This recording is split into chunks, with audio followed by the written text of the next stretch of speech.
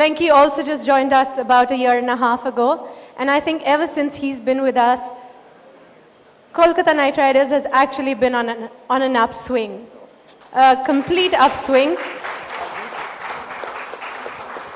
He's made some dramatic changes, some dynamic changes last year, and they all worked very well for us.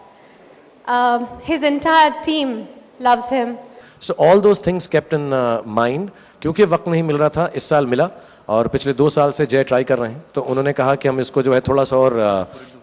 Organisedly and सुंदरता से करेंगे and I think that's the reason it's not that we change it and hopefully this will stick on longer and my personal favourite purple तो अब रहेगा ही Uh, इस साल तो यूसुफ बनेगा डॉन हमारा इसको कोई पकड़ कर दिखाए जितने रन मारेगा ये इंशाल्लाह अ, लेकिन to be really honest I think हम लोग जो है एक फैमिली जैसे हो गए हैं और बहुत प्यार और खुशी से रहते हैं अ, बाहर हम आकर यहाँ पे मजाक करते हैं और अ, अ, सबसे कैजुअली बात करते हैं